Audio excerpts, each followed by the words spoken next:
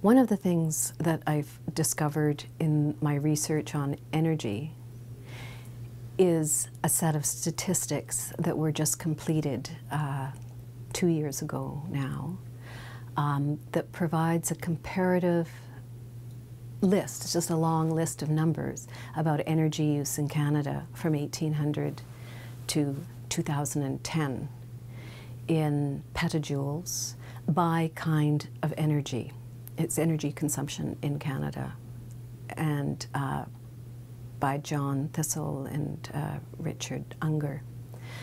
And it's part of an international series of such calculations. So we are able now to make, so, and it's to, the categories of energy consumption are divided into the kinds of energy. So the organic energy regime of uh, wood, wind, and water, and animal power. And on the other hand, the, fossil fuels and electricity. So that's coal, oil, gas, and electricity, and also nuclear. So the, the book is basically a compendium, just tables of how much energy is consumed in Canada by that. So this, this set of statistics is almost the first set of really comprehensive, uh, you know, set of data. What they tell us is what we've known for a long time, but not as early as 1800, that can the Canadians are distinctive in a number of, of ways compared to other uh, North American and European countries. And where we're so different is that Canadians are amongst the, the largest consumers of energy period. Like they, they're just across the board. And of course that ties in with our cold and dark and vast um, country.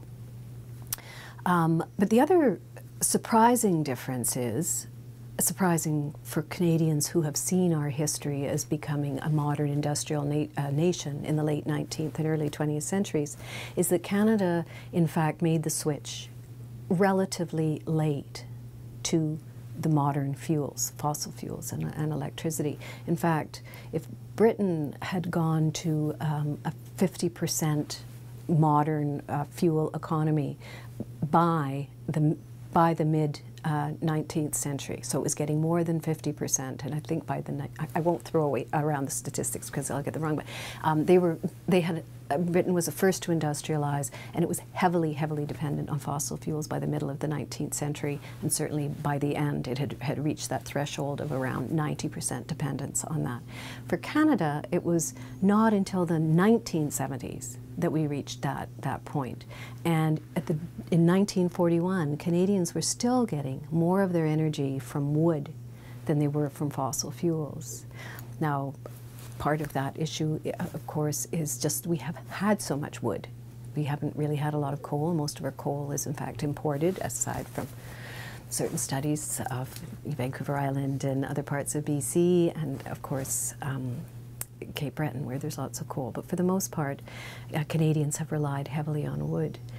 But I think that another part of, of that story is not simply that Canadians had more wood and so used it. I think part of that story ties in with how rural Canada was until the mid, till really till the mid 20th century.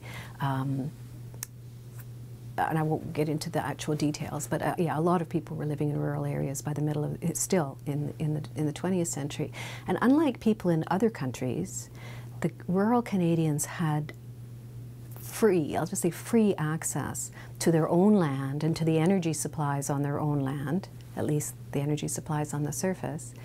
Um, and to food. Canadian Canadian rural people drew really heavily on what they could get from the land and from water. They, they could go hunting, they could go fishing, they could, and they did that on their own and of course on other people's lands. It wasn't until towards the middle of, this, of the 20th century that, that poaching laws and, and game regulations became really, really significant in Canada, or at least enforceable, because Canada is very big and there aren't a lot of roads even now across, across much of it.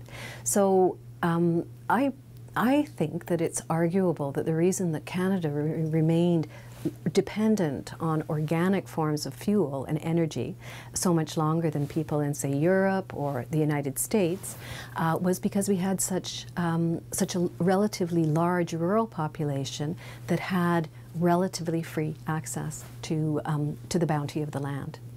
And that made us uh, distinctive in, in a number of ways that show up in these energy statistics.